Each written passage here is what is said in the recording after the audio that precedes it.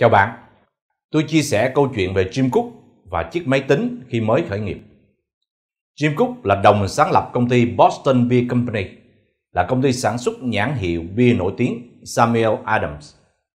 Hiện tại, ông là một tỷ phú, nhưng khi mới khởi nghiệp vào năm 1984, ông chỉ có hai bàn tay trắng. Một câu chuyện về chiếc máy tính, computer lúc mới khởi nghiệp được Jim kể lại.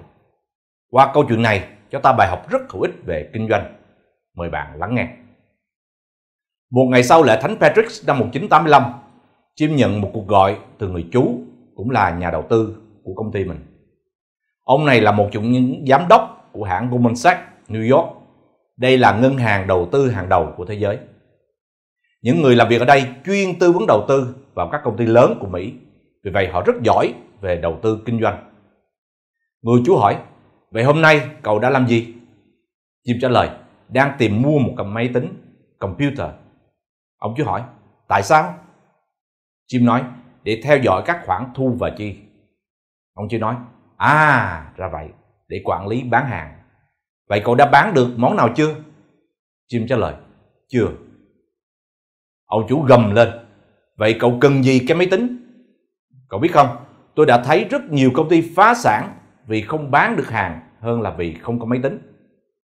Sao cậu không tập trung vào việc quan trọng là bán hàng trước đi? Nghe ông chủ nói như vậy, chim như đứng hình. Lúc này chim lúng túng như gà mắc tóc trong vòng mấy giây vì không biết trả lời như thế nào. Ông nghĩ, ông chủ nói quá đúng rồi. Câu hỏi của ông chú đã thức tỉnh chim. Kể từ đây, ông tập trung rất nhiều công sức cho việc bán hàng. Ông tự mình gõ cửa từng nhà hàng, quán bar để thuyết phục họ mua bia của mình và đầu tư nhiều công sức học hỏi kỹ năng bán hàng từ sách vở cũng như từ các chuyên gia. Những nỗ lực của ông được đền đáp xứng đáng. Doanh số tăng dần qua từng năm và đến năm 1995, công ty của ông ra thị trường chứng khoán.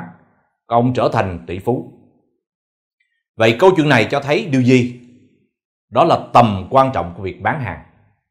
Vâng, khi bán được hàng, mọi thứ sẽ tự động sắp xếp đâu vào đó dù trước đó công ty không có gì cả.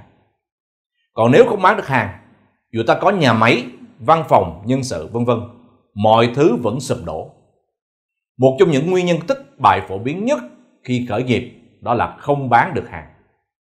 Đặc biệt, khi mới khởi nghiệp, nếu đã thuần thục kỹ năng bán hàng, ta sẽ biết cách chọn lựa, thẩm định sản phẩm sao cho phù hợp với nhu cầu thị trường, từ đó giảm thiểu rủi ro thất bại, tăng khả năng thành công.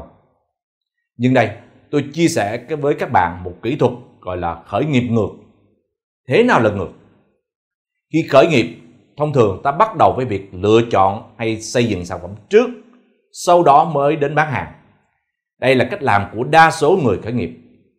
Bản thân tôi thì làm điều ngược lại. Khi được mời tham gia kinh doanh sản phẩm nào, tôi đều bắt đầu bằng câu hỏi ta bán sản phẩm này như thế nào, rồi tìm cách trả lời. Đến khi nào thấy cách bán sản phẩm này một cách rõ ràng, khả thi và đặc biệt là thấy được những cái giá trị khác biệt của sản phẩm thì tôi mới tạm thời đồng ý. Kế tiếp là đánh giá đến việc phát triển sản phẩm. Cách làm này giúp giảm rủi ro khi khởi nghiệp thưa các bạn.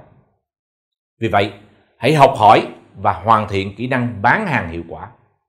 Trong thời đại ngày nay, đó chính là kỹ năng bán hàng trên online. Khoa học online marketing cho bán hàng của chúng tôi có thể giúp bạn nhanh chóng nắm bắt kỹ năng này. Khoa học giúp xây dựng bộ máy thu hút khách hàng và bán hàng hiệu quả từ ngày này sang ngày khác mà không phải nhọc nhằn năn nỉ khách hàng.